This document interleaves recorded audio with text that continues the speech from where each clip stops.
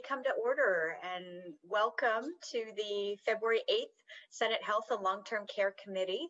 Today we have two bills on our hearing schedule and we will begin with Senate Bill 5423.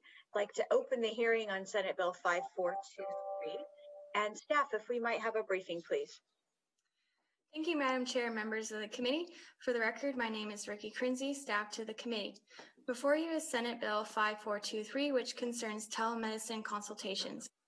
By way of background, in Washington, a practitioner who undertakes to diagnose, cure, advise, or prescribe for a person located in Washington must be licensed to practice medicine unless the practitioner falls under a statutory exemption.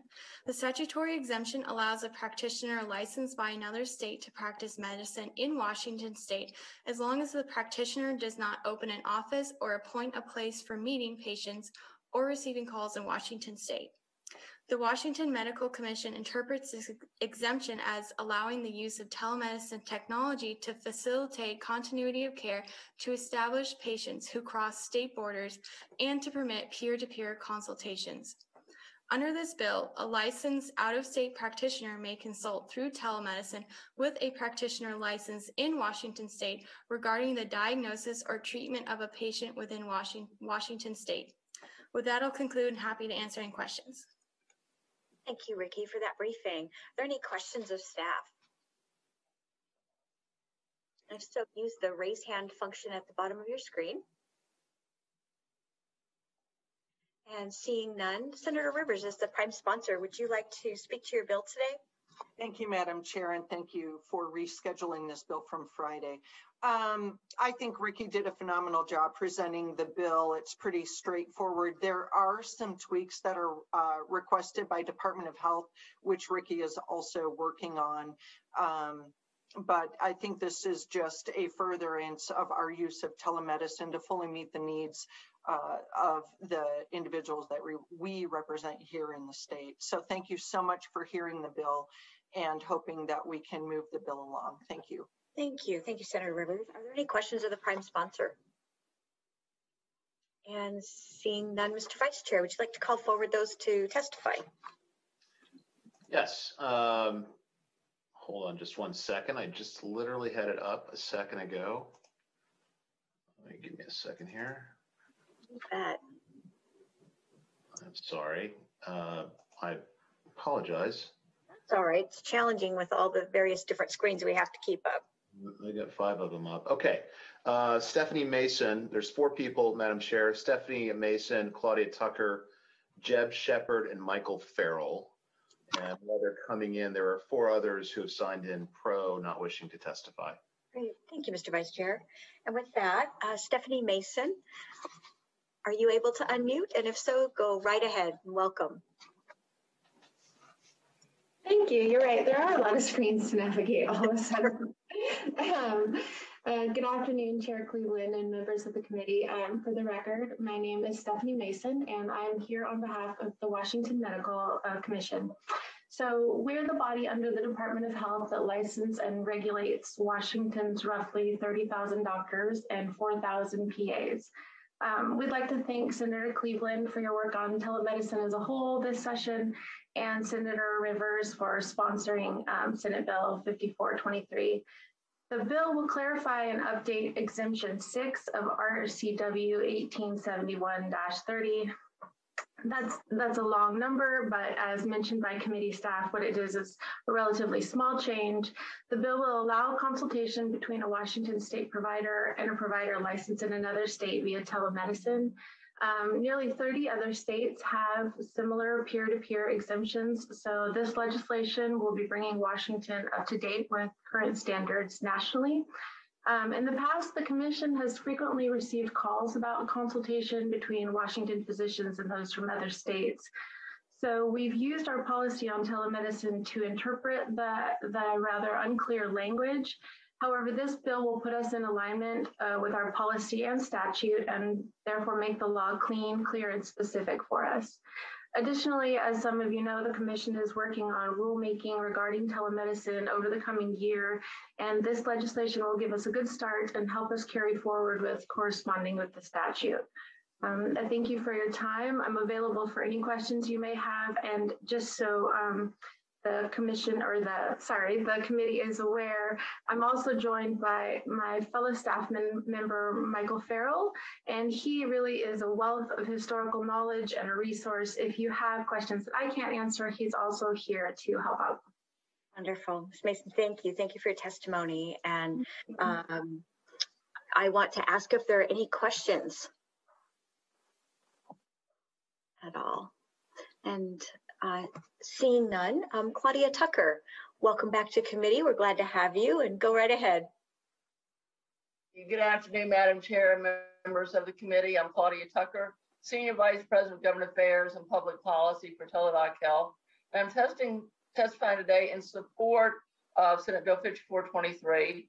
We're the global leader in telehealth. We provide care for our clients in all 50 states and 175 countries.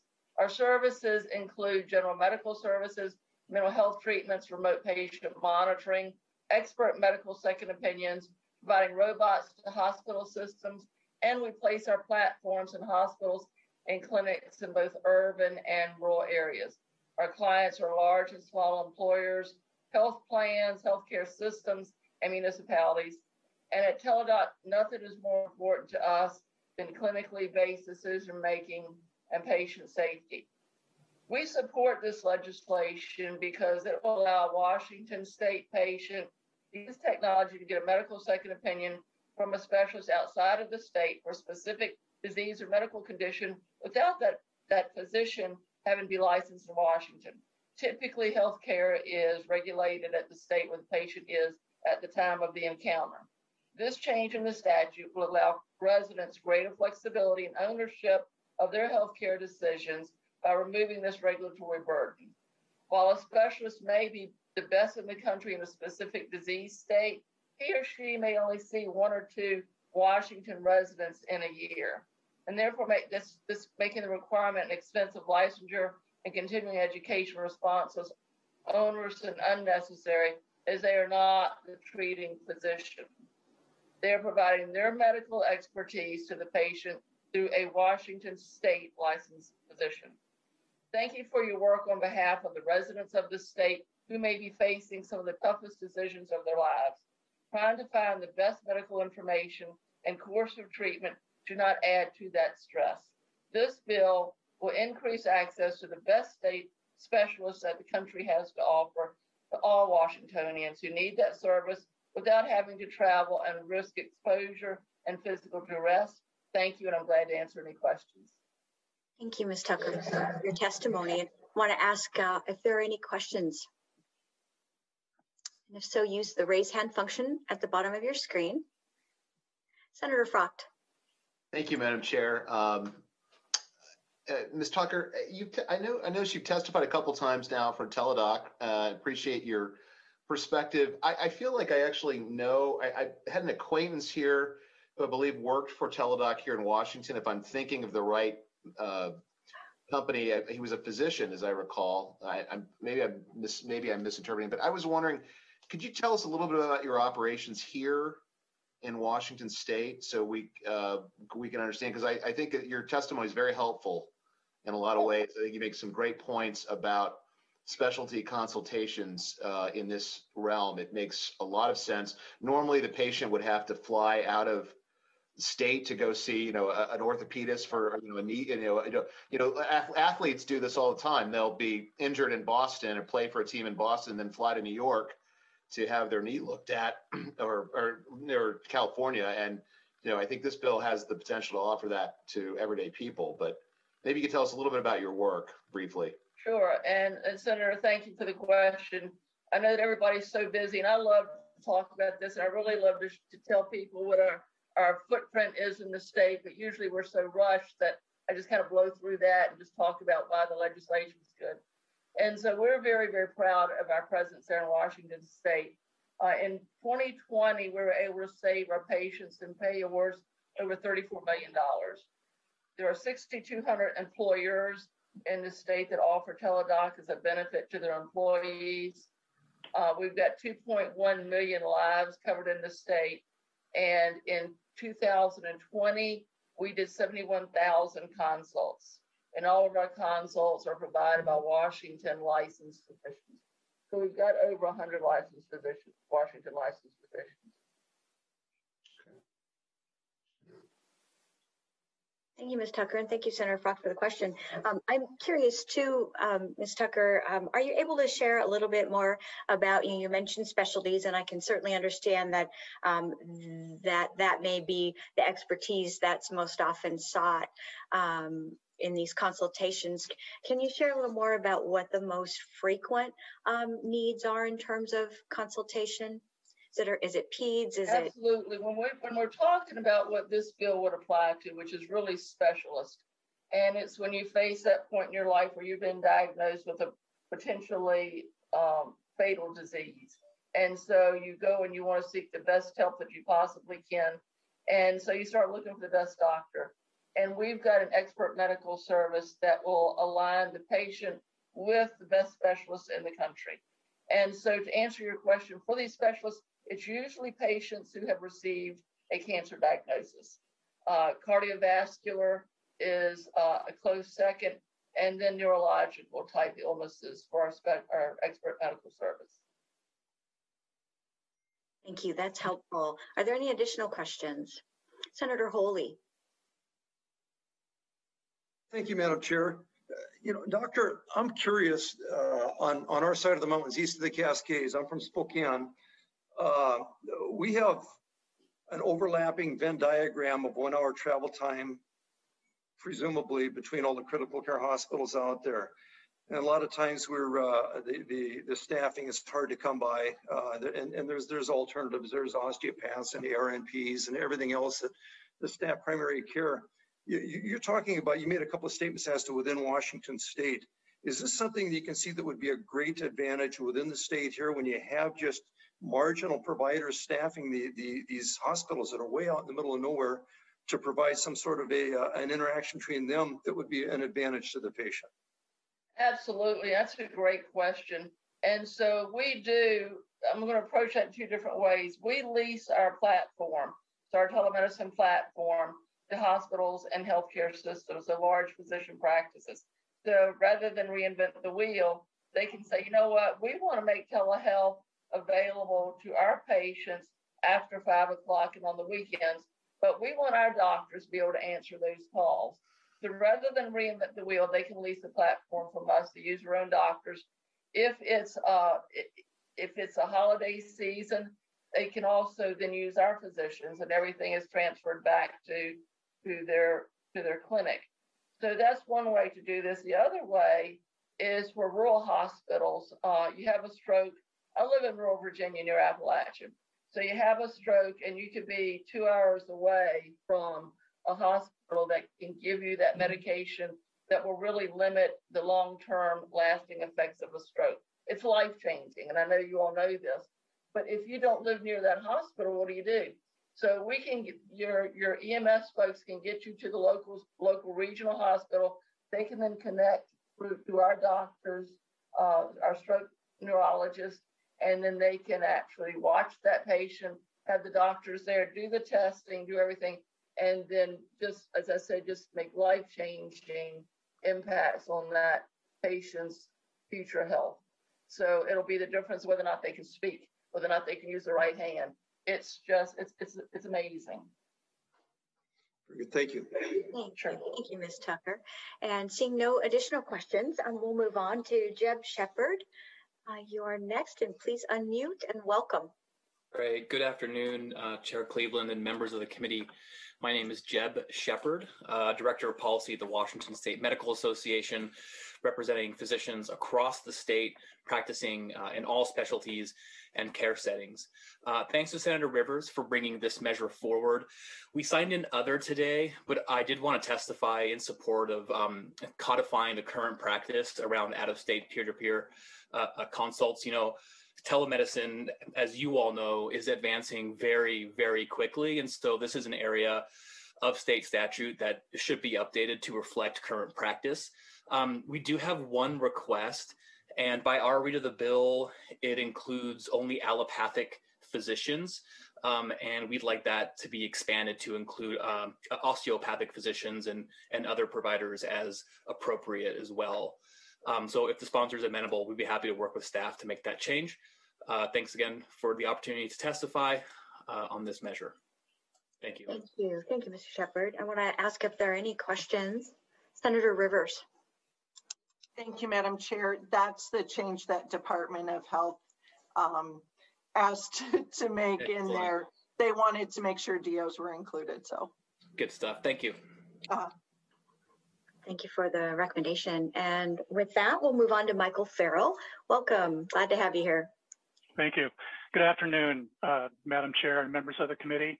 I'm Michael Farrell. I'm the Policy Development Manager for the Washington Medical Commission here to support uh, Senate Bill 5423. I support every statement made by my colleague, Stephanie Mason, and I'm here to answer any questions that the committee may have about the commission's work and uh, the application of this much needed licensing exemption. Thank you. Thank you very much. Thank you for being here. Are there any questions? Any of those who've testified And seeing none, I believe this concludes testimony then and closes the hearing on Senate Bill 5423. And with that, I'd like to open the hearing on Senate Bill 5399. And staff, if we might have a briefing, please. Certainly, Madam Chair and members of the committee. For the record, I'm Greg Attanasio, committee staff. Before you is Senate Bill 5399, establishing a universal health care commission. Uh, in 2019, the legislature established the Universal Healthcare Work Group, which published its report in 2021 that included three um, proposed coverage models. Models A and B are designed to provide coverage to all state residents, including those currently covered by federal programs and undocumented immigrants. Uh, model A would be a completely state administered program, while Model B would be a state governed but health plan administered program. Model C would offer coverage to a segment of state residents, focusing on those who do not currently have access to affordable coverage. The report included example, example transition plans to a universal system that included the establishment of a universal healthcare commission to spearhead the work. Uh, the bill before you establishes the Universal, Universal Healthcare Commission to develop a plan to be implemented by 2026 that provides comprehensive, equitable, affordable healthcare coverage under a publicly financed and privately and publicly delivered healthcare system to all state residents. The commission would include legislative members, representatives from the Department of Health, Insurance Commissioner, Healthcare Authority, Health Benefit Exchange, and Office of Equity, as well as eight members appointed by the governor with knowledge and experience regarding healthcare coverage, access, and financing. At least one appointed member must be a tribal government representative with knowledge of the Indian healthcare delivery system. The director of the Department of Retirement Systems would be a non-voting member. The commission may establish advisory committees as necessary. By November 1st, 2024, the Commission must submit a report that includes an analysis of Washington's current healthcare delivery system and recommendations for key design elements of a universal system that includes financing, eligibility, and enrollment processes, covered benefits, provider participation, provider payment processes, cost containment and quality improvement strategies, initiatives for improving culturally appropriate care, home and community-based services, strategies for strategies to reduce health disparities, IT and financial management systems, data sharing and transparency, and governance structures. The report must also include recommendations for steps Washington should take to prepare for a transition to a unified financing system and recommendations for the creation of a finance committee. The commission must hold its first meeting within 90 days of the effective date of the act and must submit an interim report to the governor and legislature 12 months after its first meeting and every six months thereafter. I'm happy to answer any questions. Thank you, Greg, for that briefing and want to ask if there are any questions of staff.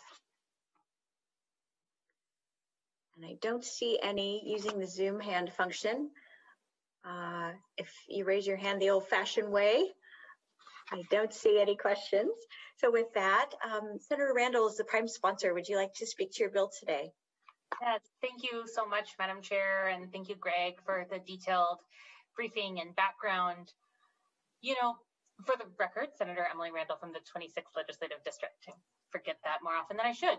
Um, you know, some of you have heard me say this before, but you know, I knew from the time I was a little girl that Washington State could be a strong leader in healthcare expansions because my family benefited personally from the Medicaid expansion of 1993. And it made the difference for us to be able to care and support my sister Olivia, who had severe disabilities, um, allow her to live at home and uh, go to public school. And I know that my family's story is not unique, though we have continued to make incredible strides um, through Washington's early leadership in the 90s, as well as gains made under the Affordable Care Act. We still have, and this is as of November 2020, 541,440 people without coverage in Washington state. That's over half a million people who, even with our Apple Health coverage and other subsidies, are unable to access the health insurance that they need so that they can go to the doctor without worrying, without putting off, you know, extreme, um, putting off health issues until they become extreme. And we can do better than that. We know we can because we've done it before. We have made great strides, but we have the responsibility now to continue building a path. And as you heard from Greg, there were options um, developed and offered through the work of the Universal Healthcare Work Group, which was a bipartisan and multi stakeholder effort that worked long and hard over the past many, many months to understand and analyze different options before us. And the reason that we're start that for me that I'm starting with this uh, establishment of the Universal Healthcare Commission is that I think that we have more planning to do. Of the three options that the Universal Healthcare Work Group identified, there wasn't strong consensus around one. While you know Plan A may save us a substantial amount of money and cover more folks um, in a shorter time period, it was tougher to figure out how we could get there. And and so you know with with my own aversion to what could be called incrementalism i think that we right now need to be taking a planful approach one that allows us to partner with a federal administration that is now interested in partnering on healthcare expansion one that um, is better uh, more likely, I think, to work with us on, on waiver applications to figure out ways that we can not have to go it alone as a state, not fund an entire health system on our own, but allow us to partner with um, a Biden administration and a Center for Medicaid Medicare Services that will be a strong partner. And so we'll hear from so many folks, folks who think we should move faster and folks who think we should move slower. And that's the beauty of, um, you know, of the legislative process. We are um, able to get voices from all over that have different perspectives. So I, I really appreciate the time to dig into this next proposed step in the process and allow us to make a plan, a meaningful plan that will cover that half a million folks who are uncovered, who are won't go to the doctor because they're afraid of the bill, who put off what could be routine care until it becomes, in some cases, fatal. We can do better by our neighbors, and I'm offering you this as a step forward. Thank you, Senator Randall, and thank you for your leadership, your hard work on the Universal Healthcare Work Group, and uh, particularly for bringing this uh, next step forward in order to continue that critical work. Uh, Senator Conway has a question. Question is, does your plan incorporate a plan for a ERISA exemption with the federal government? You know, that- many years ago, many years ago, we were working on universal health care when I first entered the legislature, and uh, one of the key stumbling blocks was the ERISA exemption. Yeah, I, I appreciate the question, Senator Conway, and I'll, I'll, invite Greg to correct me if I'm wrong. But this, um, the establishment of the commission doesn't speak directly to the ERISA exemption, but they do anticipate that that would be um, a, a piece that the commission would explore. Thank you. And Senator Keiser has a question or comment. And uh, Senator Keiser, your audio is not working. Senator Conway's comment reminded me that uh, when I first came to the Senate, uh, the chair of the Healthcare Committee was Pat Thibaudeau, and she was working on this issue then. And I wonder if it might behoove us to try and get some of those archived uh, records because it was a really a groundbreaking effort then, and uh, you know we've we've got to keep at it to get it done. But we could learn from what they learned too. What a great idea, Senator Keiser. Thank you for that. Are there any additional comments or questions of the prime sponsor? Seeing none, um, Mr. Vice Chair, if we can uh, call forward those to testify. And before you do, I want to recognize that we have a large number of individuals who signed in to testify today. And um, to ensure that everyone wishing to testify has that opportunity, I'm going to ask that you limit your comments to three minutes. Uh, as you enter the committee view, you'll see the timer. I will also uh, prompt you when the timer is up. And if you have additional thoughts you want to share beyond what you're able to verbally share with the committee today, please submit in writing and we'll be sure that that's distributed to each member of the committee and uh, we have that opportunity to further review. So um, appreciate in advance everyone's respect of each other's time today. And with that, um, Senator Frockt, who we have? Madam Chair, there, uh, there are 29 people on this panel. I'm going to start with, uh, in this in this list, I'm going to start with a, a panel that signed in together and then we'll go right back up to the top. So the first group will be Jill Levine, uh, Adam Sa- uh, Autumn Savage, Elena Savage, and Bevan McLeod. And for our staff, they are numbers 23 through 26 on the list. And then we'll start back at number one um, after that. Excellent. Thank you, Mr. Vice Chair. And with that, uh, Jill Levine, if you're able to unmute, welcome to committee and please go right ahead. Hi. Uh, good afternoon, Madam Chair, members of the committee. My name is Jill Levine. I live in the 36th Legislative District and I'm here today to testify in support of SB 5399. Uh, I'm a small business owner with a family income at about 90% of the average for my area.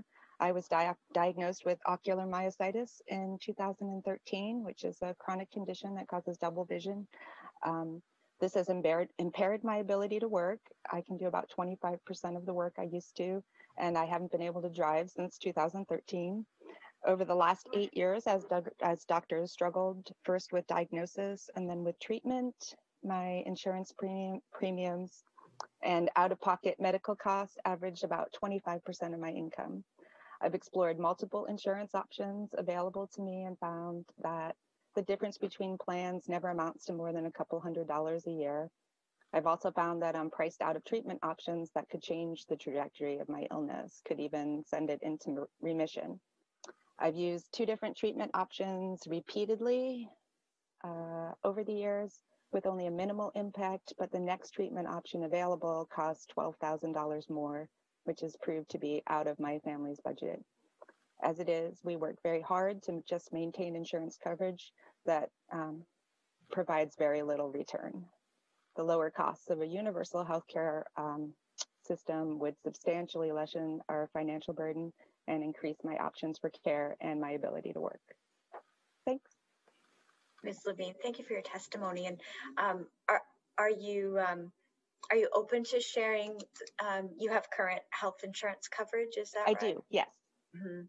And um, and that just um, doesn't cover your needs, obviously, or meet your needs in terms of treatment. Yes, that is correct. There's just a, it's most of it is paid out of pocket um, mm -hmm. for the most part. Yeah. Mm -hmm. Thank you for that. Are there any additional questions, Ms. Levine? And seeing none, we'll move on to Autumn Savage. Autumn, if you're able to hear us, go right ahead and welcome. Uh, good afternoon, um, Madam Chair and the members of the committee. My name is Autumn Savage. I live in the 48th Legislative District, and I'm here today to testify for favor of SB 5399. I'm going to have my mom here, Elena Savage, read because I'm actually having a really bad day. She's got a pretty bad migraine today, so yeah. Um, so everything I'm going to be saying are her words that she wrote, so it's it's her story. Five years ago, I started having a lot of stomach pain and digesting digestive problems. Almost everything I went through in those years, my parents had to pay for out of pocket, and I did not need to get as sick as I am. From the start, doctors didn't listen to me or my parents and made decisions based on what insurance would do. I was told to get therapy, to undergo neurofeedback, to eat better, to stop being stressed. We tried everything they suggested. My mom asked specialists for a colonoscopy and an endoscopy early on. They said no. Without blood in my stool and without any vomiting, which I wasn't doing then, insurance wouldn't allow the tests. My mom said she would pay out of pocket, but they still said no. My health got worse. When I did finally get an endoscopy, the biopsy showed depleted digestive enzymes. This made sense with everything going on with my digestion. The doctor said the results were insignificant. When I finally got a colonoscopy, the results showed elevated mast cells, a sign of mast cell disorder, but the insurance company said insignificant. I was in so much pain all the time. I had to leave school. I had to stop doing all of the things that I really love doing. One hospital system wouldn't release me until my mom started the inpatient process for an eating disorder clinic. They said, don't worry, insurance will pay for all of it. The same hospital also arranged for several months' supply of this gross protein drink they were shoving on me. They said, take it, insurance will pay for all of it but they wouldn't give me a harmless test for a staph infection. In February of 2020, I was finally diagnosed with Lyme disease. This last October, I was diagnosed with E. coli and staph as well. The mast cells in my colonoscopy so many years ago indicated a staph infection. My parents had to pay out of pocket to get all these tests done. My Lyme doctor in Seattle finally got me into a specialty clinic in California because the insurance problems in Washington just reached a point. We are testifying from California right now.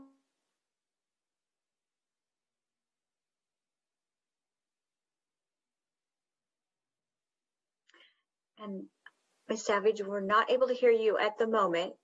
Your audio is cut out. Let's take a moment here to. I know, but there's not much I can do about it. There, now we can hear you. Go right okay. ahead.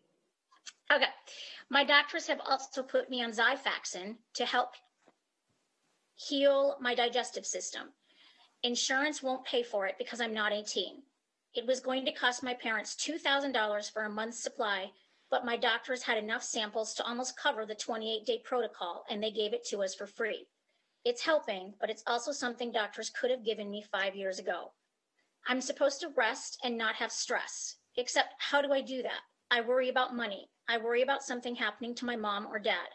And I worry about everyone else like me who doesn't have parents who can do what mine are doing. I still doubt myself because of everything doctors have said to me. I still wonder if this is all my fault, if I'm crazy. I have Lyme disease and several co infections, but I didn't need to get this sick. I didn't need to be getting care thousands of miles away from my home without my friends, loss of all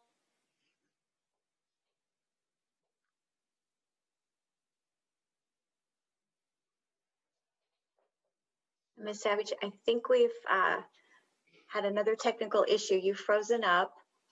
Would you turn off your camera for a moment and let's see if that'll help? There we go. Go right ahead. Look. Are we able to hear you now? Yes, we, Good. yes. Okay.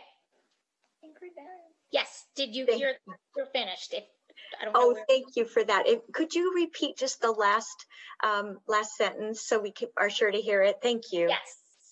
Um, do you want to read this last paragraph?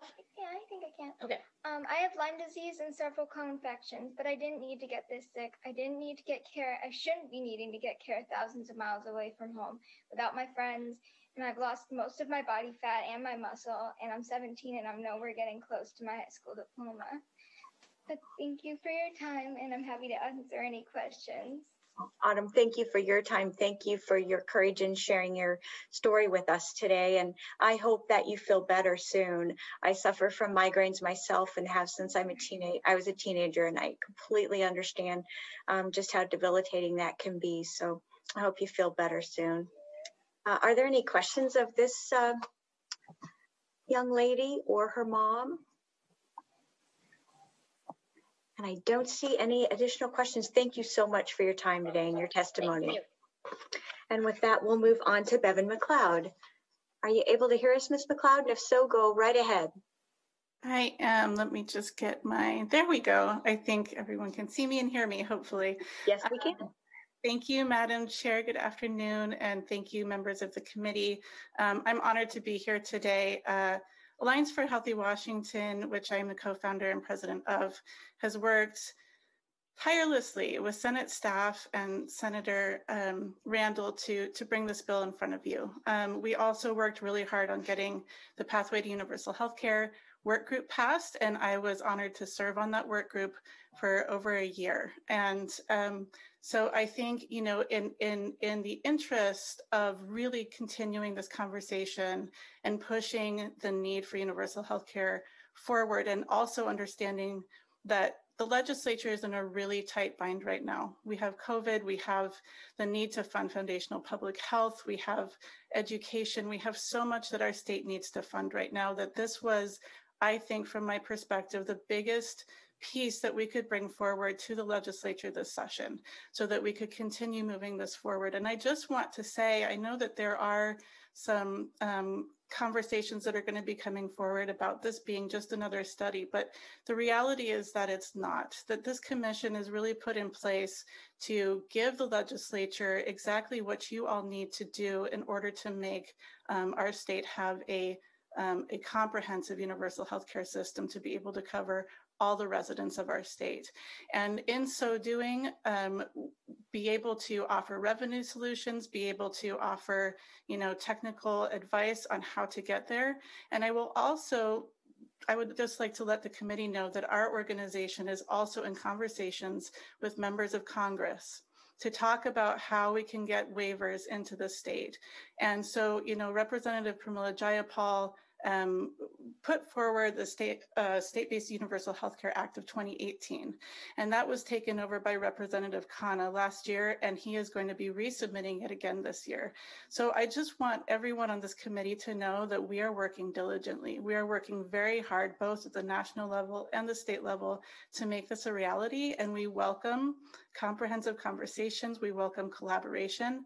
Um, and I'm looking forward to hearing from everyone else here today. Um, and I welcome any questions about this process, about why we chose this route. Um, and I'm just so grateful that, uh, for all of the support for everyone who on this committee and throughout the, the legislature in these last few years. Thank you. Thank you, Ms. McLeod. Thank you for all of your uh, advocacy and hard work and your testimony today. I want to ask if there are any questions. And Seeing none, um, thank you so much for being with us today. Mr. Vice Chair, if we can um, call forward the next to testify. Yes, I'm going to go in uh, groups of uh, five. Uh, Bunny Hatcher, Michael Benefiel, uh, Catherine Lewin, uh, Lewandowski, uh, Kelsey uh, Bresman, and Jennifer Cumby. And I apologize if I mispronounced anyone's name. Thank you, Mr. Vice Chair. And um, Bunny Hatcher, if you are able to unmute, welcome and go right ahead.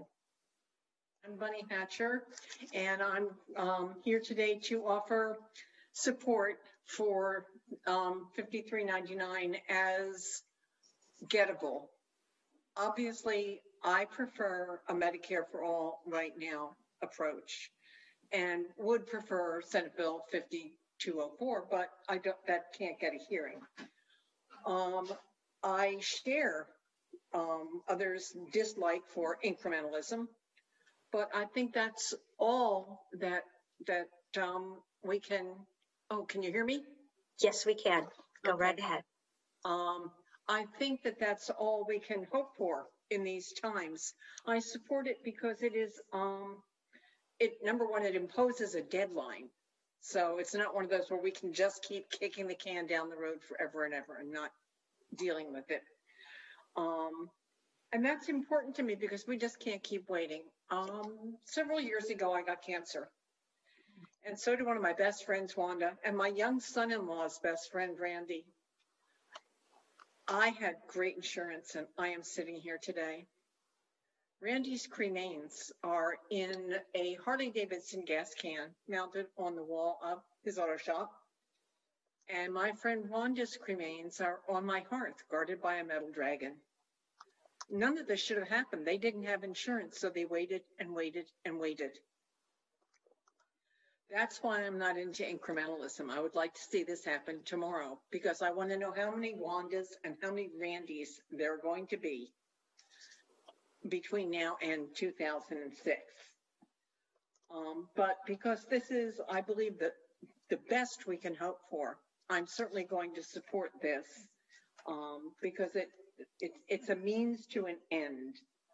Um, and that waiting if, if we just keep kicking the can down the road, the bodies just pile up and pile up and pile up. So I would encourage this body to continue the pursuit of more aggressive Medicare for all type legislation while at least rolling this out and rolling it along so that in in the interest of getting something done we can Thank you, Ms. Hatcher. Thank you for your testimony today. I want to ask if there are any questions. Seeing none, we'll move on to Michael Benefiel. If you're able to unmute, go right ahead. Hello, we see you. Welcome. Madam Chair, for hearing me. I'm Mike Benefiel, PCO from the 23rd Legislative District and over 50 years a Democrat. In 2019, 82% of Americans favored affordable health care via a single payer system. The Washington legislature had a bill that would provide affordable health care for all in Washington via a single payer system. That bill was ignored by both the Senate and House health care committees. After two years, oh, in favor of a study. After two years of study, the data and the work group members and 100% of the public testimony all agreed with the over 20 previous similar studies that a single payer system was the best for providing affordable health care for all. Here we are once again with a bill in committee, in, uh, in your committee, SB 5204, that would provide the very Model A single payer system favored by the work group study. And it would provide all Washington residents affordable health care and save billions of dollars a year. Once again, this bill is being ignored in favor of another study, this time by a commission. SB 5399 does nothing more than set up a commission with the task of providing recommendations in a report in four years. This bill pushes affordable health care down the road at least four years, and even then, all we will have is a report. No health care bill, no affordable health care. I recommend that this bill, SB 5399, be rejected and SB 5204 be given a hearing. Can we afford to pass up implementing a system that would end needless suffering to Washington residents and save billions of dollars a year? In other words, this bill will cost the state billions of dollars of lost savings every year. Thank you, Mr. Benefield. Thank you for your testimony today. I want to ask if there are any questions. And seeing none, we'll move on to Catherine Ladowski. If you're able to unmute. Am I unmuted? Right. Yes, you are. We can hear you. Welcome. Thank you. Thank you, Chair Cleveland, for this opportunity to address your committee. I am Catherine Lewandowski, Chair of Whole Washington, a Democratic PCO from the 39th LD, and a registered nurse here in Washington. Whole Washington represents over 8,000 members, in addition to the legislative district organizations of our preferred political parties. We are healthcare and political professionals and stakeholders in this public policy discussion. We are attempting to present respectfully and courteously to the members of this committee in asking for a full presentation and dialogue on moving the state of Washington forward and providing comprehensive single payer health insurance to all residents as a matter of our universal human rights. As informed stakeholders, we are asking for a full public hearing, hearing on 5204 so that we might present to the Senate and to the people of the state of Washington our informed views regarding public health insurance policies. We expect that this issue will become an initiative to the people and have included all the Democratic legislative district organizations in our state in our deliberations. We are also including all interested, NGOs in our strategy. Furthermore, we have included our concerns in the Washington State Democratic Platform, where we call for Washington State to establish a universal single payer healthcare system for Washington residents regardless of immigration status, until such time as the single payer system is enacted nationally. Numerous public policy resolutions have also gone before several of the issues caucuses of the Central Committee. And yet, we understand that this committee has the power to move healthcare quickly in achieving the goals of the working group and in bringing life saving healthcare to Washington's citizens. We would like to invite and include the members of this committee and their supporters in the ongoing statewide dialogue with other stakeholders as we fundamentally change the way our state provides healthcare to our residents.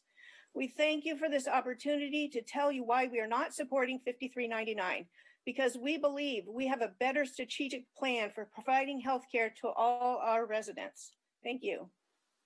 Thank you, Ms. Lewandowski. Thank you for your testimony. I'll ask if there are any questions. And seeing none, we will move on to Kelsey Bresman.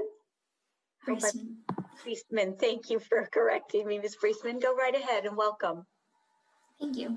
Hi, Senator and Committee. I'm Kelsey Braceman from District 36. I'm calling in as a private citizen to advocate for universal health care as a matter of urgency. I get my health insurance through Washington Health Plan Finder, where I can choose between a number of private options, frankly, none of which are good. As someone whose employer does not offer health insurance, I pay a few hundred dollars a month as a young and healthy person for the privilege, privilege of ensuring that should I need care past $8,000, my insurance will kick in. That's me, I'm young, I'm healthy, and $8,000 is my deductible. Um, this isn't an I feel cared for type of insurance. This is a if I get hit by a car, I might not go into massive debt insurance. I am paying hundreds of dollars a month to reduce a potential negative rather than for any improvement in my health or my quality of life. In our current system, this is a position of great privilege. It is expensive enough to get necessary care that I am highly incentivized to simply not get care, and I have a history of doing that. Uh, this is broken, and it is much worse for many other people. Um, you are likely already familiar with and empathetic to stories of this type. This is, after all, a hearing for a committee to talk about universal health care. But I am concerned about the lack of urgency implied by this bill. As others have mentioned, there is already a bill, 5204, for universal health care in Washington state. This bill is complete and it includes funding that will lo- lead to lower overall costs per person even after taxes. Unfortunately, this existing complete bill is stuck in committee, this committee, and has not yet gotten a hearing. I'm here to ask this committee to give Bill 5204 a hearing. I am not opposed to the formation of a committee as called for in SB 5399, but I am opposed to the strategy of let's just keep talking about it when there is a real bill and it is not being given a hearing. So please set a date for that hearing instead of killing it in committee. Thank you. Ms. Braceman, thank you for your testimony. Are there any questions? Being none, we'll move on to Jennifer Cumby. Cumby, you are next. If you're able to unmute. I don't see you on the screen at the moment. Ah, go right ahead.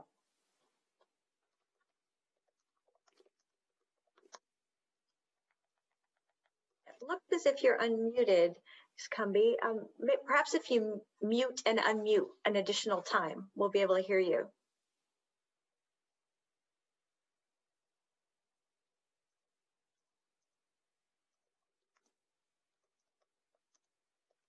Staff, are you able to um, check that audio for me? Yeah, we'll see if we can do anything on our end. All right. In the meantime, Ms. Cumby, I'm going to um, I'm going to move on to give us time or give staff time to work with you on your audio. And Mr. Vice Chair, if you could call forward the next to testify. Yeah, the next uh, the next five are uh, Jennifer Cumby, Jessa Lewis, Chris Curry, and Sarah Weinberg. Okay. And Jennifer Cumby, I see you, um, and it looks as if you're unmuted. Can you can you hear us?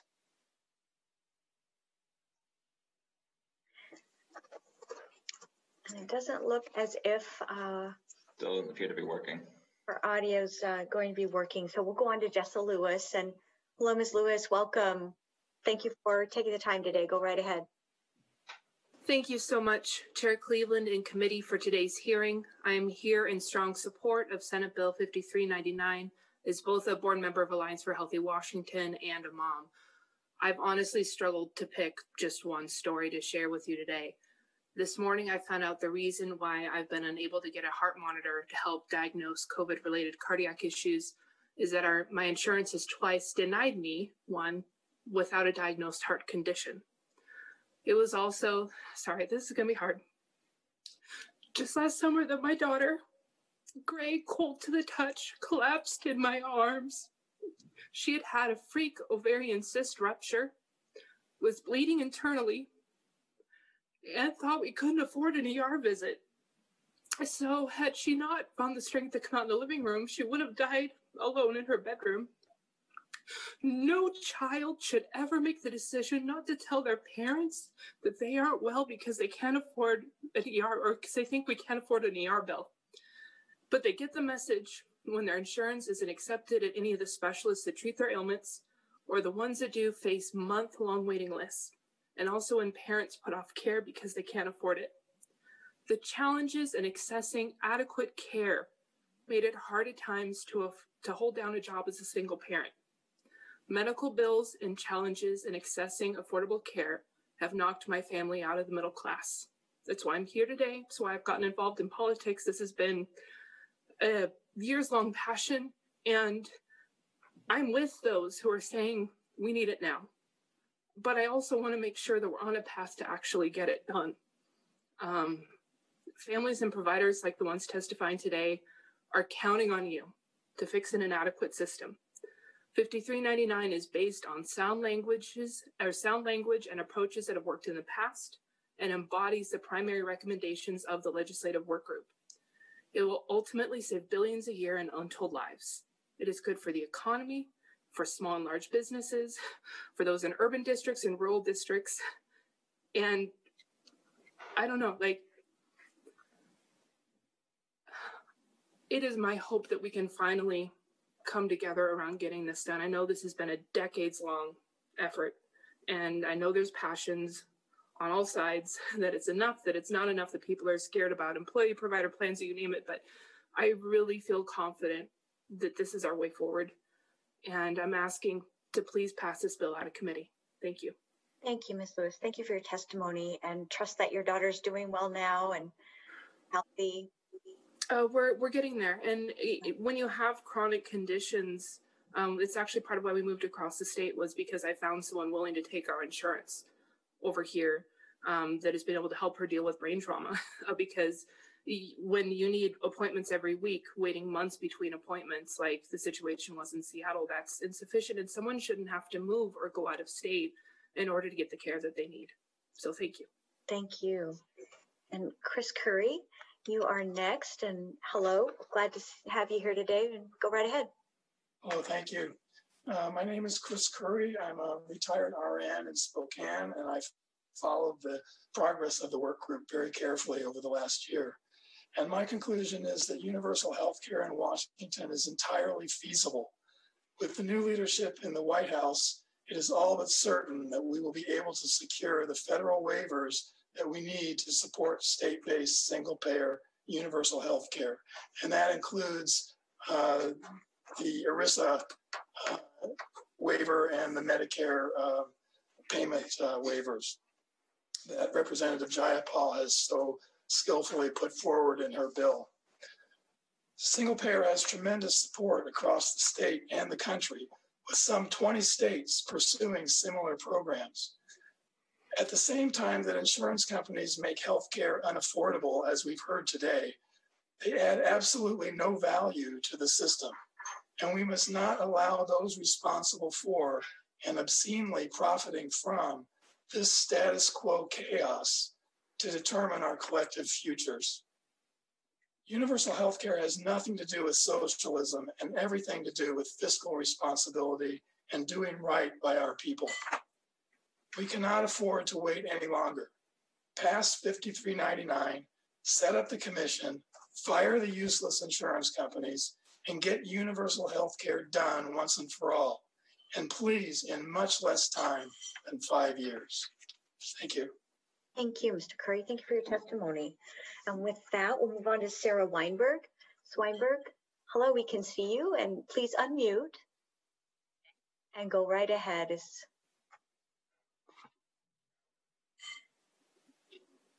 Are you able to unmute, Ms. Weinberg? There, there you are. Go. Yes. Good. We can hear you. Good. oh, thank you, committee. Um, and I look forward to your passing this bill.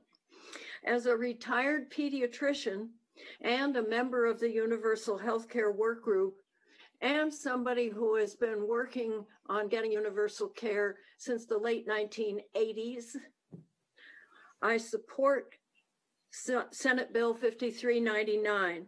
In essence, this bill would start implementation of what a majority of the work group favored a unified plan for universal health coverage run through a state agency. In other words, Model A. I do have a couple of suggestions, though. Number one, there is no mention of a chairperson for the Universal Healthcare Commission, and there needs to be a good leader. Something to consider inviting an outside expert on health systems to come in as a paid chair slash leader to help guide the group. Just something to think about.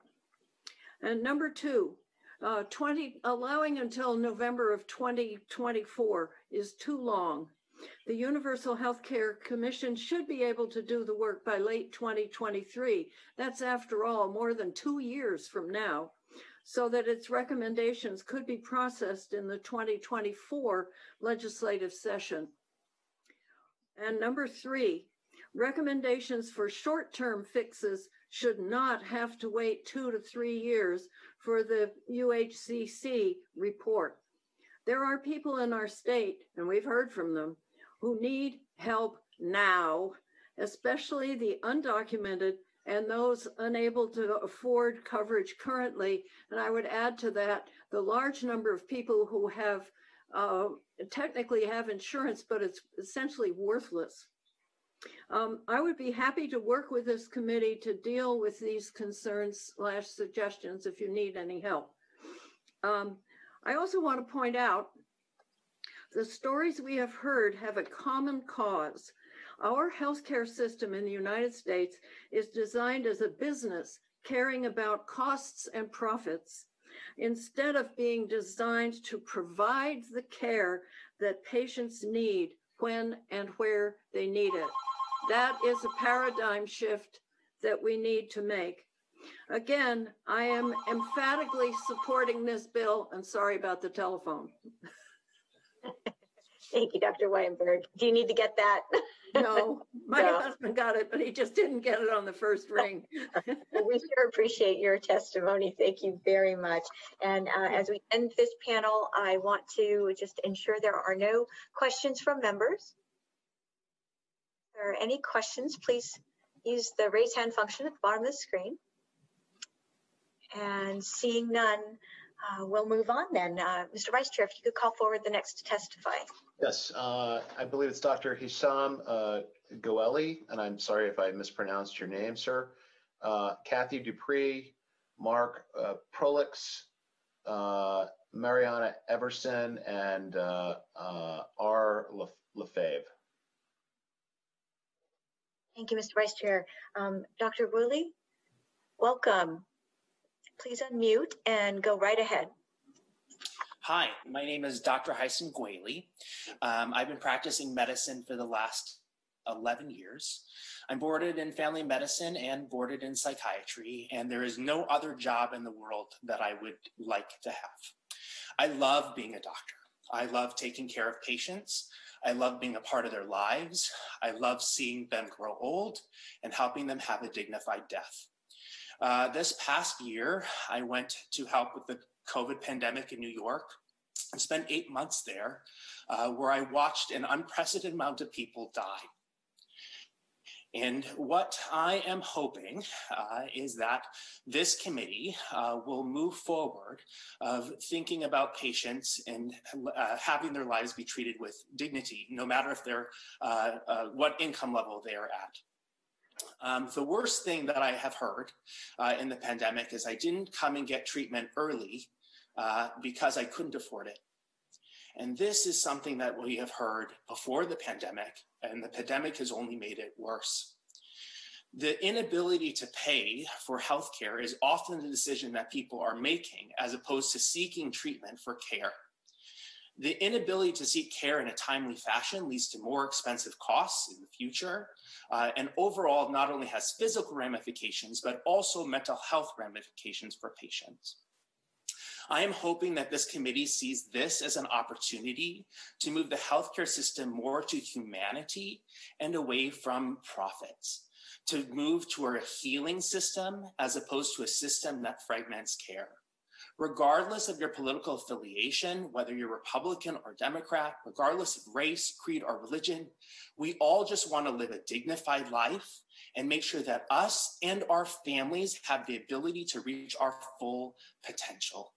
And what I'm hoping is that this is a potential first step for all families across Washington to reach their full potential. Thank you. Thank you, Dr. Gwaley. Thank you for your testimony. Um, we'll move on to Kathy Dupre. And Ms. Dupre, welcome. Go right ahead. Hear you. Thank you, Madam Chair. I'm Kathy Dupre, and I live in the 23rd Legislative District. Thank you for the opportunity to discuss why I'm not supporting 5399 today. We are currently in a pandemic, and we have hundreds of thousands of people, including migrant farm workers and people of color, who lack health care. It is important to provide health care to everyone around us in our communities. By postponing the implementation of a university, universal health care system, we're not providing necessary health care to our communities. We cannot afford to wait another four to six years to provide universal health care for neighbors in our communities. Expediency is of the utmost importance as we work to mitigate the negative impacts of this virus on the hardworking residents of our state. We must run quickly and clear all of those hurdles with sincere determination to put a workable plan in place for our communities. For these reasons, I respectfully request that this committee have a hearing on Senate Bill 5204. We have solutions to share with you and request the immediate opportunity to have a frank dialogue with all of you. Thank you. Thank you, Mr. Gray. Thank you for your testimony. And Mark Prolex? Are you able to unmute? I am. Yes. Wonderful. We can hear you. Welcome. Go right ahead. There we go. I'm able to do video too. Many talents. Okay. Uh, thank you, Madam Chair. My name is Mark Prue, and I'm a Democratic PCO in the 33rd District. Uh, prior to retirement, I was a member of SPEEA, the Boeing Engineers Technical Workers Union, for 28 years, and am the son of a 50 year member of the United Brotherhood of Carpenters and Joiners of America. As a result, I know firsthand how important health insurance is to quality of life. Everyone, not just those lucky enough to have it, deserves health care. I oppose Senate Bill 5399 People in this state are suffering and dying for lack of health care. The last thing they need or want to hear about is another study to determine a path toward universal health care. The Universal Health Care Work Group conducted a comprehensive study of the problem. They determined that Model A, a not for profit single payer system, would cover nearly everyone in the state and save billions of dollars in the process. They noted its clear superiority to a publicly financed, privately administered program. These studies have all been completed, and now is the time for action. The Health and Long Term Care Committee has in its possession a bill, SB 5204, that would solve the problem now. This bill has been fine tuned by many experts and has been vetted by the Departments of Revenue and Employment Security to ensure that it will mesh with their systems. It contains a legitimate transition plan. The committee should give this bill the hearing that it deserves. Thank you for allowing me to testify today, and I welcome the opportunity to work with you. Thank you, Mr. Prue, and thank you for coming before us today. And uh, with that, I'll call on Mariana Everson. Are you able to unmute? Mariana, where are you? And it, I don't believe that she's in the room. Okay. All right. Thank you, Greg. Um, we'll move on to Arla Fave, and we'll come back to Ms. Everson if she joins us later. Good afternoon, Chair Cleveland. I'm Rick LaFave, and I live in the 20th, 20th Legislative District. I appreciate the opportunity to discuss why I'm not supporting Senate Bill 5399. Whereas Senate Bill 5399 requires the Commission to spend another two years to study and submit a report that essentially duplicates the effort of the last two years of dedicated work by completed by Universal Healthcare Working Group Senate Bill 5204. That actually gives the board of the whole Washington Healthcare Trust and its working committees the direction and the ability to establish a benefits package, and a funding mechanism, necessary premiums, develop guidelines and quality standards, and many other necessary rules to establish the trust fund quickly and with due diligence. The work of this is proposed commission in SB 5399 has already been done. We have listened to all too often to public testimony of medical debt and bankruptcy due to underinsured and the uninsured.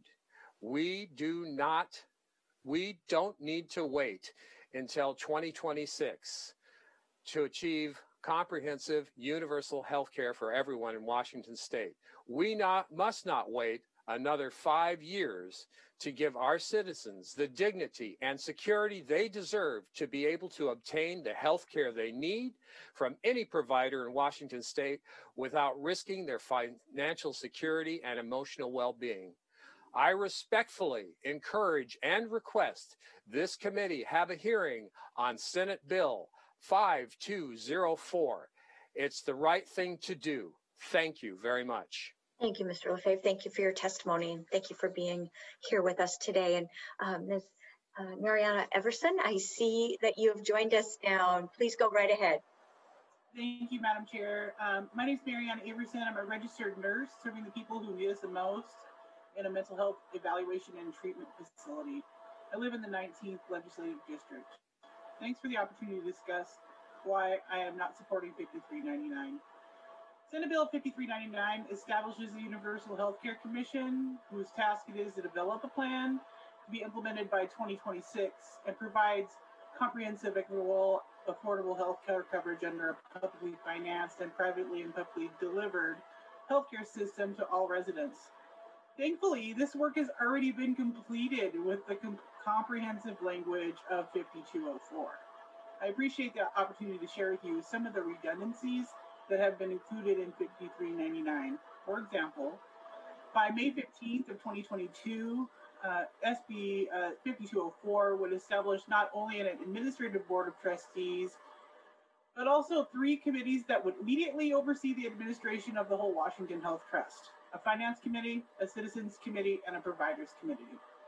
5204 creates a financial committee that's made up of financial experts in developing a sound financing uh, policies for the trust. It creates a citizens committee to address quality, priorities, benefits, access, and other important concerns for our residents. Creates a providers committee to address provider needs regarding quality, continuity, resource utilization, and other provider issues. And SB 5204 by March of 2022 could establish and define a well-rounded bipartisan administrative board and committees that will be able to address the needs of all stakeholder, stakeholders and then quickly establish a healthcare program of such importance and urgency with utmost speed and competence. For these reasons, we respectfully request that this committee hold a hearing on SB 5204 in order to have a more in-depth discussion of these two bills. Thank you for allowing me to testify today. Thank you, Ms. Everson. Thank you for your testimony and for uh, being with us. I want to pause for a moment at the conclusion of uh, this panel of presenters and ask if there are any questions. And seeing none, we'll move forward then. Mr. Vice Chair, if you could call forward the next to testify. The next uh, few are Jason Call, Marlene Albright, Marcia Stedman, Andre Stackhouse, and Carl Baker. Thank you, Mr. Vice Chair. Jason Call, if you are able to unmute, there you are. Go right ahead. Welcome. Just a second. Thank you, Madam Chair. Uh, my name is Jason Call. Uh, I live in the 44th Legislative District. Uh, thank you for the opportunity to discuss why I'm not supporting 5399. Whereas 5399 creates a commission to look at implementing the recommendations of the Universal Healthcare Working Group, 5204 is a comprehensive bill that has been vetted by our own Department of Revenue, with funding language included to allow them to be able to collect the necessary payroll taxes and premiums that would then replace what our residents and businesses are currently paying for their for, for profit first health insurance plans. In part two of 5204, that's section 2021A, businesses would have until 2026 to be required to pay the healthcare assessment of 10.5% of their employees' payroll, of which up to 2% could be passed on to their employees. Although they could choose to opt in earlier than that when the trust becomes active by November of 2022 per section 1071C, Alternately, for a small business with less than 50 employees, they would have the option to request a waiver from the healthcare assessments due, if needed, through May 15th, 2028, per Section 2026. Senate Bill 5399 offers only unnecessary delay and no direction to achieving the goals of the Universal Healthcare Working Group, which is to provide comprehensive, equitable, and affordable healthcare coverage under a publicly financed and privately and publicly delivered healthcare system to all state residents. For these reasons, I respectfully request that this committee have a hearing on Senate Bill 5204. Thank you for allowing me to testify today. Thank you, Mr. Call. Thank you for your testimony. And we will now call Marlene Albright. Ms. Albright, are you able to unmute? And don't see you on the screen quite yet.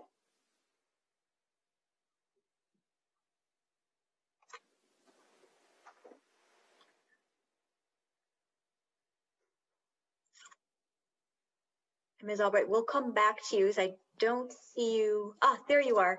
I see you now. Go right ahead and unmute. Okay. There Can we go. We me? can hear you. Yes, we can. right. Go right ahead. Okay, thank you very much. Um, some of you have heard of the Seattle process. This is what Senate Bill 5399 reminds me of. It's obviously a bill not to implement single payer, but to delay it and eventually kill it. I would like to know what happened to the legislators who wrote this and signed on to it. Where is your moral compass? Some of you have received unconscionable amounts of money from corporate health. Franklin Delano Roosevelt did not believe in incrementalism. He created the Plan for Social Security on June 29, 1934, and it was signed into law on August 14, 1935, a little over a year. The bill proposed by Senator Hasegawa, Senate Bill 5204, has been vetted and is ready to go. Senate Bill 5399 sets up a commission drawing out the process to 2025. We do not have time to wait. People are hurting, especially during this pandemic. They are afraid to see a doctor because of the cost. It is cruel and intolerable that SB 5399 is allowed a hearing, but a far superior bill, Senate Bill 5204, is not. And I would like to finish by saying Martin Luther King talked about the fierce urgency of now. Thank you for allowing me to testify. Thank you, Ms. Albright. Thank you for your testimony. And we'll move now to Marcia Stedman. Ms. Stedman, welcome back to the committee. And if you're able to unmute, please feel free to begin. Yes, thank you. I am able to unmute and now I think you can see me and I can see you. Um, first of all, thank you, Senator uh, Cleveland, Madam Chair, for this opportunity and members of the committee. And I'm Marcia Stedman with Healthcare for All Washington. And I want to thank Senator Randall as well for, for sponsoring this important bill, which um, we do wholeheartedly support here at Healthcare for All Washington. The commission, of course, would carry forward the recommendations of the Universal Healthcare Work Group.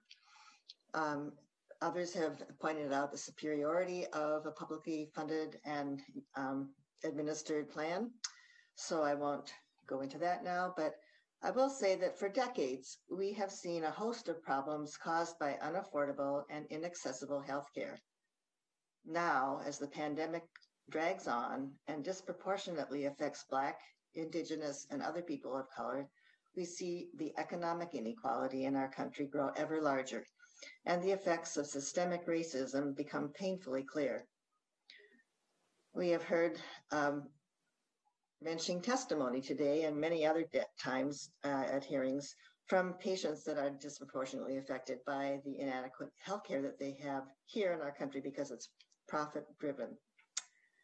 Um, now is the time to do right. Another quote by Martin Luther King. The time is always right to do right, but we need to do it right. And this, this problem has been existing for decades, and we know it. With a, uh, the healthcare system in our country, the economy contributes 18% to our gross democratic gross um, domestic product. This uh, ship is really hard to turn quickly. And rather than jumping into something that is um, not completely understood and doesn't mesh completely well with our state system, and and the federal systems are not in place to actually um, help what what we could do here, provide the funding, provide the support. It's it's not a good idea to go ahead so quickly. So we think the time is right to bring just health justice here to Washington through this um, commission. And we urge you to pass it forward and to improve it by making it a timeline a little bit shorter. That would be great to have a few years lopped off of the timeline. And um, just uh, thank you so much, and we look forward to working with you as the bill progresses. Thank you. I do as well, and thank you very much for your testimony today, Ms. Stedman. With that, we'll move on to Andre Stackhouse. Mr. Stackhouse, hello. Go right ahead. Welcome. Hello, thank you, Madam Chair. My name is Andre Stackhouse, and I'm a voter in the 36th Legislative District. Our private employer-based healthcare system leaves both hardworking people and businesses paying excessive costs for low coverage private health insurance. It's a bad deal for our business community and its employees. Putting the cost burden of healthcare coverage on our workforce, uh, for our workforce as a payroll expense, forces businesses of all sizes to allocate time, money, and personnel to interact with a complicated and fractured system. Those resources could be otherwise invested into wages, products, and services. Meanwhile, many working people feel trapped at their jobs and are terrified to pursue their education or to start their own business because doing so would likely mean losing what health insurance coverage they have. It's a risk that for many means a serious risk to their life and their financial future. And so Washington loses the opportunity to share in their ambition ingenuity, and prosperity. While 5399 offers missed opportunities for our citizens to recover from this economic crisis, 5204 will allow them to spread their entrepreneurial wings. Giving comprehensive, nonprofit public health insurance to everyone in Washington is not just the right thing to do, it's good economics and it's a sound investment in ourselves, which is why over 80% of the people in our state want single payer. Our priority is to see this legislation passed, whether through the initiative process or the legislature, but the fastest path is through this committee. The people of Washington state say that it's time to negotiate a better deal by giving Senate Bill 5204 a hearing. Thank you for this opportunity to testify today. Thank you, Mr. Stackhouse. Thank you for your testimony and for being with us. And we'll move on to Carl Baker. Mr. Baker, if you're able to unmute. And I don't see you on the screen at the moment.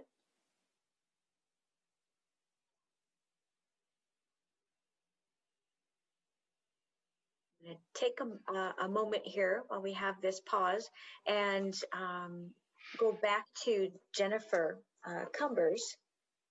Jennifer Cumber, whom we called earlier and weren't able to hear. And Ms. Cumber, are you able to unmute Yes. Wonderful. We can hear you. Go right ahead. Good. Thank you for thank you. Thank you very much for taking the time and going back and letting me share my testimony today. Um, so thank you, Chair Cleveland and committee. I'm here in strong support of SB 5399 because I don't want other parents to go through what we suffered. On March 2nd, 2007, I was eight months pregnant with my second daughter at the Sacred Heart Emergency Department when a physician told me that my two year old daughter had cancer. We were admitted that very night for a one month stay to treat my daughter's leukemia, but that initiated a two and a half year chemotherapy regimen in an attempt to save her life. Upon her stabilization, we returned home only three days before I was in labor, and I had an emergency C section. And my youngest, my new infant, was admitted to the neonatal intensive care unit. My husband's employer provided us with a good insurance policy from a major provider, and we had six months of expenses that we had saved up, tucked away in savings. We felt prepared financially, and we reserved our worry for the lives of our two children. Several weeks later, the, board, the bill started pouring in, and shockingly, many of the charges went straight to out of pocket expenses due to several specialists not being contracted with our insurance. Although treatment was provided in an in network hospital, the hospitalizations for myself, my two children, resulted in a medical debt of over $30,000 in one month, with us facing more than two additional years of chemo and hospitalizations to save my daughter's life. Our community held garage sales, auctions, and various online fundraisers to help us through, only to have my second daughter diagnosed with the same cancer two years later. And so we began the entire process again. We are fortunate that my children survived, but we continue to battle with this inhumane system as we struggle to cope with the physical, emotional, and psychological latent side effects of the treatments used to save their lives. We had to choose less ideal options that we could afford instead of what was recommended by their team of professionals. Please pass this bill out of committee because even though we had two insurance policies and six months worth of expenses set aside, it just wasn't enough for my family. Thank you. Thank you. Thank you for sharing your personal story, Ms. Cumbie. Thank you for your patience in waiting today for us to get the audio working correctly for you. Thank you. Um, and with that, we'll go back to Carl Baker. Mr. Baker, welcome and go right ahead. Thank you, Madam Chair. Uh, I'm Carl Baker. Uh, I live in the 8th Legislative District, uh, and I'm the president of the Tri City Democrats, our local potluck group. Uh, and I'd like to thank you for the opportunity to discuss why I'm not supporting uh, SB 5399. Um, our state has just spent $500,000 in two years studying how to best implement a universal health insurance system in Washington. Uh, and we just don't have time to keep looking at what we knew, know we need to do. Multiple studies have shown that we can save the most money by moving to a single payer system at both the state level and nationally and improve outcomes. Uh, although the working group could not come to consensus, they did offer three options for moving to the universal healthcare in Washington.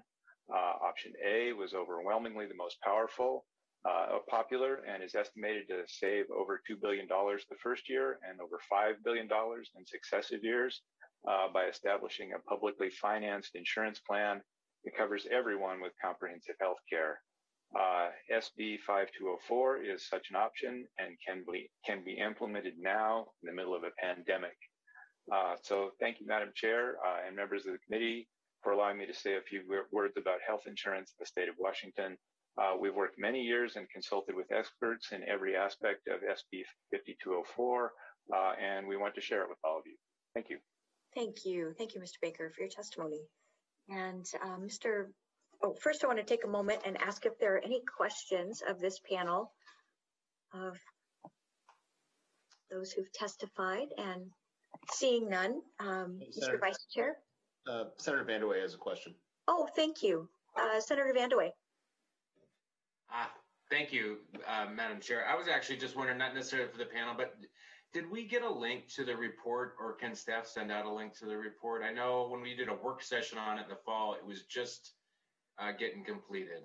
Yes, absolutely. We can send that out. I think it came um, the first week of session, the first week session started. But absolutely, if we can um, have that sent out to members, um, Thank you. that would be helpful. Thank you. And if there aren't any additional questions, um, Mr. Vice Chair, if you'll call forward the next to testify. Thank you, Madam Chair. Uh, De- uh, Deirdre G., Lynette Vehrs, Laura Fielding, Pete Lamb, and then I'll just go ahead and call forward the last three as well. Uh, Dr. Bruce Davidson, Chris Vandely, and Linda Seltzer. Great. Thank you. Um, so Deidre Gee, are you able to unmute? And if so, go right ahead.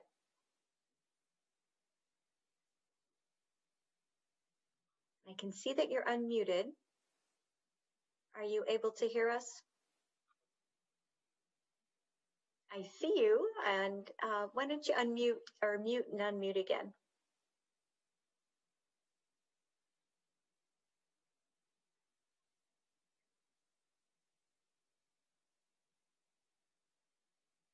Are you able to hear us? Yes, okay. Can you guys hear me? Yes, we can now. Oh, Welcome. Okay, sorry about that. All right.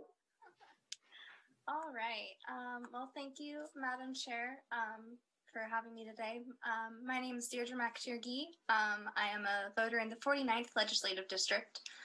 Um, and I thank you for this opportunity today to discuss why I do not support Senate Bill 5399, but instead I'm asking you and the rest of the committee to let Senate Bill 5204 have a full hearing. 5204 is a fully fleshed out bill, complete with funding and a rollout plan, as we have already heard. We've been talking about universal healthcare for years in this country, going nowhere fast with countless investigations and studies done to prove or disprove its efficacy. Meanwhile, people keep dying from easily preventable illnesses and injuries due to the exorbitant costs of healthcare. It should come as no surprise that minorities are disproportionately affected. While the economic disparities between minorities and white people have already have always existed, COVID has really blown the door open. I grew up in northeastern Washington. I lived there for six years, and my mother was a great friend of the Spokane tribe. And while I have since moved away from the area, I have kept in contact with several of my Indigenous friends, some of whom now live in Oregon, and they have all been severely impacted.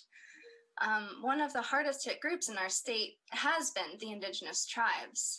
Um, in July of 2020, COVID was tearing through Yakima Nation, just a little bit northeast of me, with an estimated 6% of tribal members testing positive for the novel virus.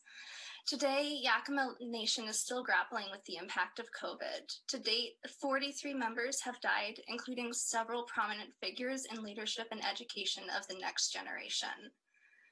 These are people that were building the community that has been destroyed for hundreds of years in this country, and they died simply because they did not have access to adequate health care. We cannot wait anymore we can't say, okay, five years from now, let's look at universal healthcare. We need it today. Also, this goes beyond healthy workers are more productive. The very first selling point of your bill, when I read it earlier today, an entire culture is being decimated due to lack of health care. We need a universal bill that puts people first and views them as people, not workers. Senate Bill 5204 would do exactly that. It's a bill for the people, by the people. Until we have a universal healthcare bill that acknowledges that healthcare is a human right, minority groups like our indigenous tribes will continue to get left behind and suffer from lack of adequate healthcare. For these reasons, I respectfully request that this committee have a hearing on Senate Bill 5204. Additionally, I ask that everybody who supports 5399 but has requested a faster timeline seriously look into Senate Bill 5204 and request that this committee give it the hearing that it deserves. Thank you, Madam Chair, for allowing me to testify today. Thank you for coming before us. Thank you for your testimony. Appreciate it very much. And with that, we'll move to Lynette Vehrs. And welcome. Go right ahead. Hello. Yes. Good afternoon, Chair Cleveland and the committee. My name is Lynette Vehrs, and I am the president of Washington State Nursing Association. And hello, Jeff Holy. He's my senator. I'm here from Spokane. Hello there. It has been my privilege and pleasure to have been part of the Universal Healthcare Work Group. A lot of work was done, and this is our plan to move forward exactly with a commission. Now, for the last four decades, the Washington State Nursing Association membership has endorsed universal health care. So I'm not speaking alone here. The commission will uh, the commission will create bills that we can get forward. I really appreciate Senator Randall when you said incrementally it's tough, but I'm afraid that's probably exactly what we're going to have to do. But each year we'll be passing bills to get us there. Now, speaking as a nurse for nurses, this COVID 19 has just knocked us and it has really unloaded a real sad situation of disparities and people of color, gender. It has uncovered racism that I'll have to say I was not aware of, and we are working as a as a nursing association to clear that up and be on top of that.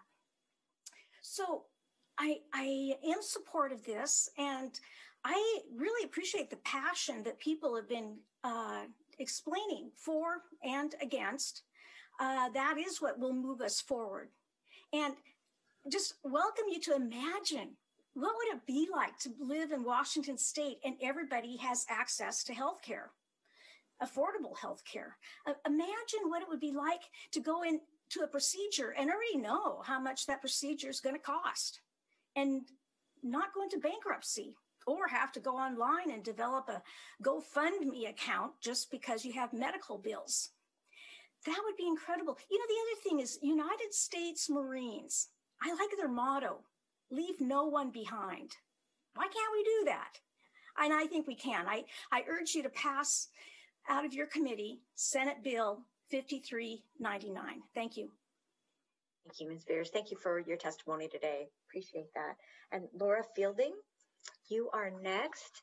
If you're able to unmute, hello. Go right ahead. Welcome. Thank you very much, Madam Chair. My name is Laura Fielding, and I am a voter in the 27th Legislative District. I'm here, thank you for the opportunity to discuss why I am not supporting 5399. I speak today as a veteran for peace who had the privileged opportunity of living for many years and studying in uh, the UK, where healthcare is guaranteed as a human right. Over 15 years ago, I was asked by some of my student colleagues who worked within the NHS how I could stand, how I could bear it to serve a country that leaves so many behind.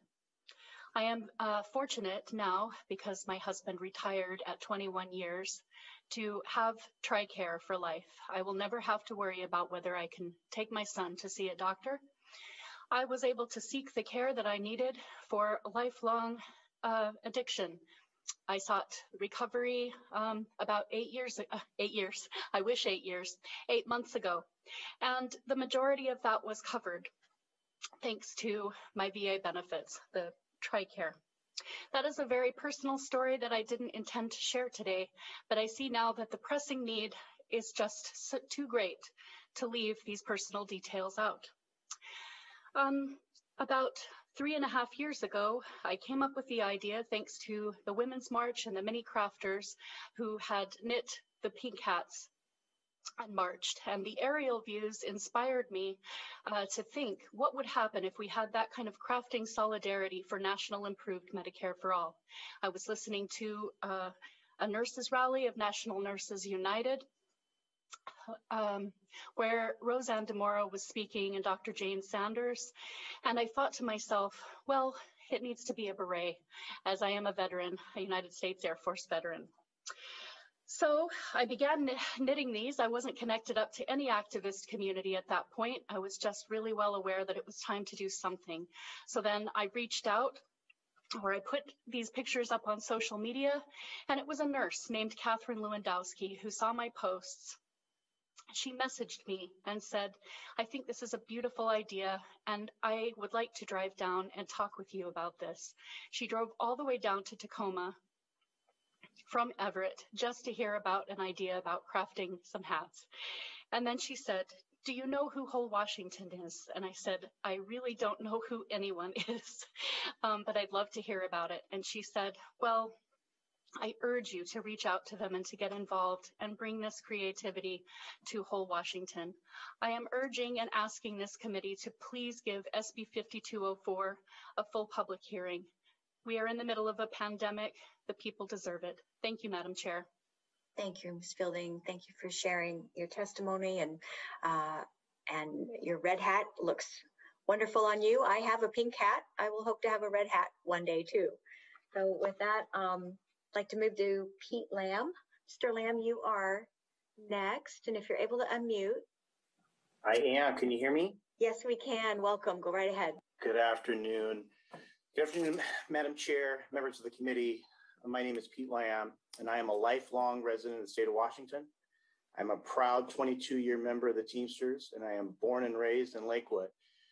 As the son of a single mother, I also know what it means when your mom has to take you to the factory with her, because if she didn't, she would lose her job and we would lose our health care.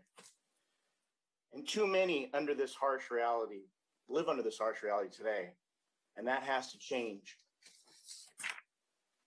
As a labor negotiator that has negotiated labor agreements affecting thousands of members, I can tell you that oftentimes healthcare is the last item on the table during negotiations.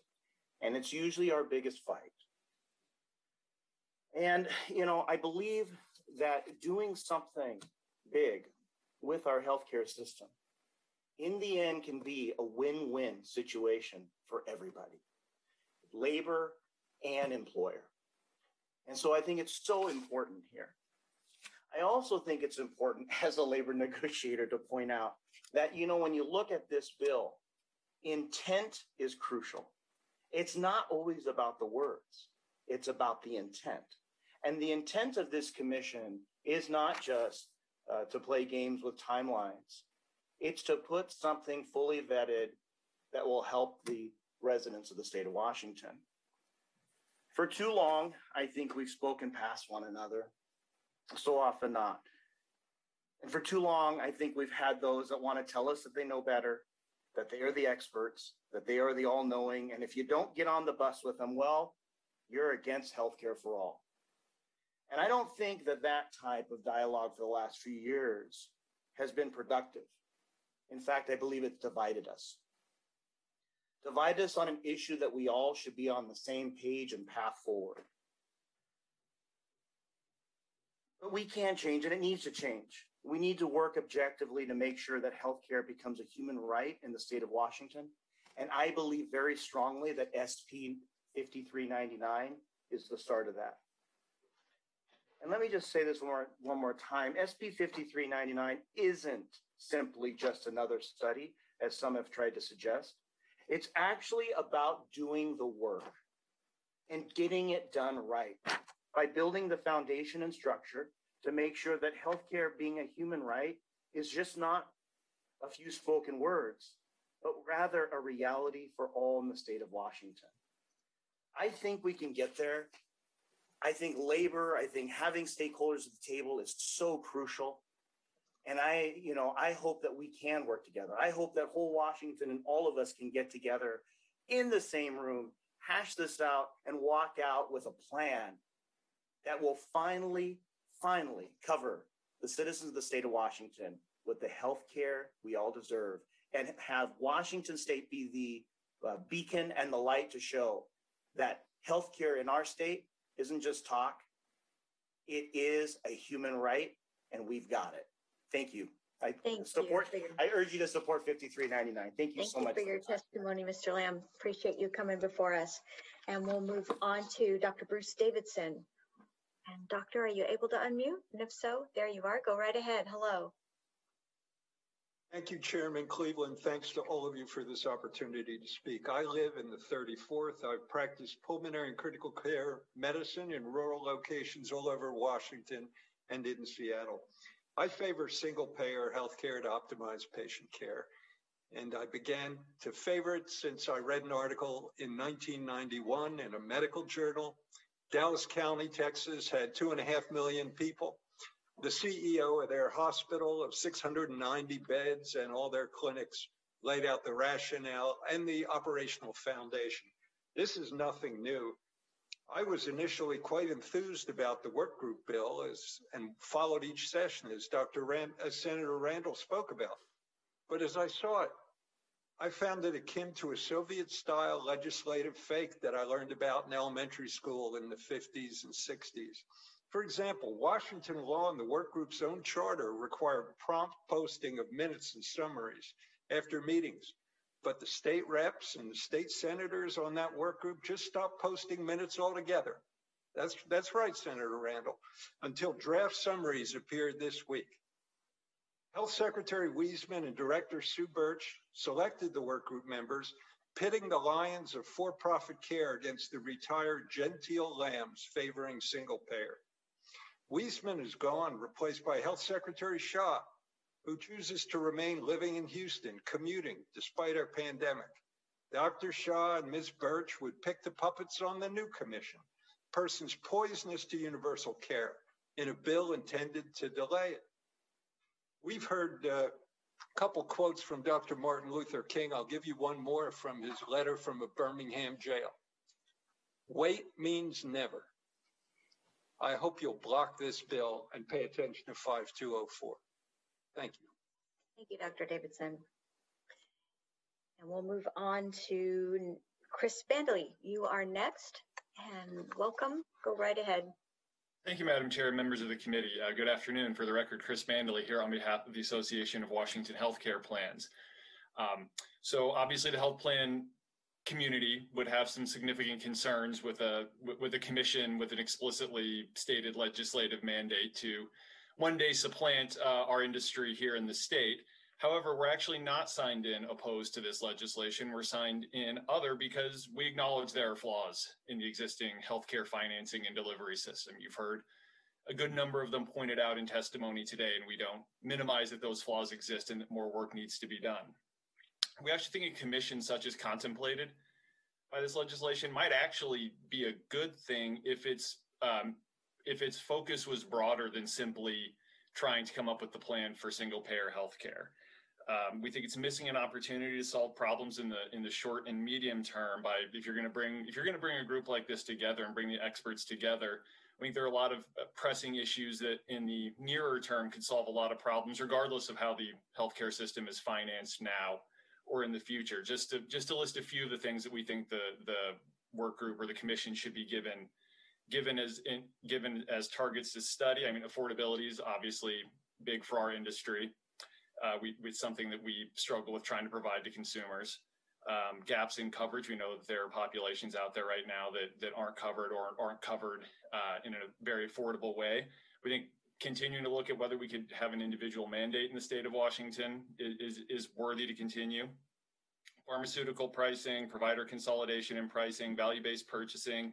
You know, there's a, there's a whole list of things that that are out there that uh, that if this group is put into law, that we think that they should be given given a charge to look at as as well. We think that the total cost of care commission that was just passed by legislation last year, the uh, all payer claims database and other sources are out there to help inform inform this work to make make progress on improving the system system that we have for now. And you know, if if the end end goal is still what it is, then at least it'll be a better a better system that they're building upon. So. Uh, with that, we thank you for your time and look forward to working with you as this legislation moves forward. Thank you. Thank you, Mr. Bandoli. Thank you for your testimony. And with that, we'll move on to Linda Seltzer. Ms. Seltzer? Can you hear me? Yes, we can. Welcome. Go right ahead. Uh, my name is Linda Seltzer. I live in Redmond, Washington. I'm speaking as an individual, and not on behalf of the group. And my comment, I signed in as other, and my comment is about process. Input from stakeholders throughout the state is necessary to make a new system work. As just one example, actuarial reports are one method of financial assessment, but how actual low income senior citizens access health care is another. Waivers to move senior citizens from federal Medicare to a state system could be detrimental to subscribers and to the national Medicare system as a large pool of subscribers. Those affected by such plans need to have a voice.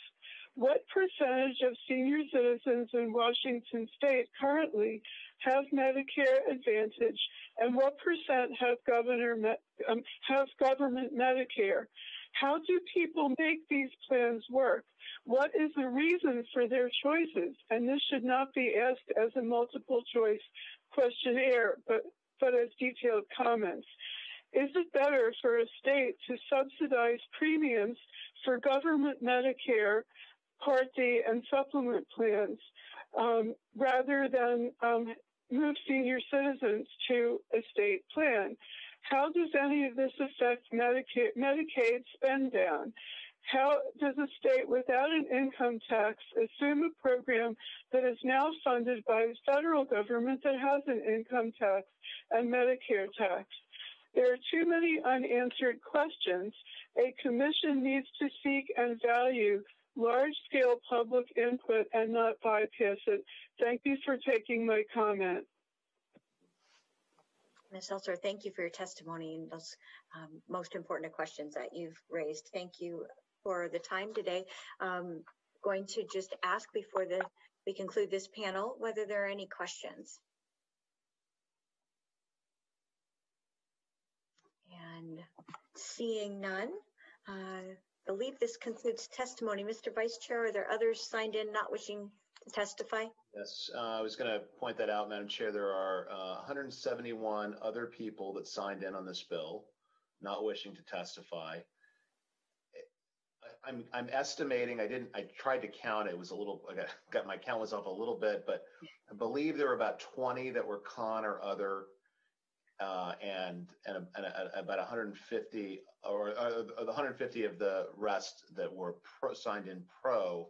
Mm-hmm. That's an estimate. I don't know that to be exact, but it's in the record if anybody wants to look at it. Great, thank you, Mr. Vice Chair. And with that, this concludes the hearing on Senate Bill 5399 and closes the hearing on Senate Bill 5399. And I move that the committee be adjourned.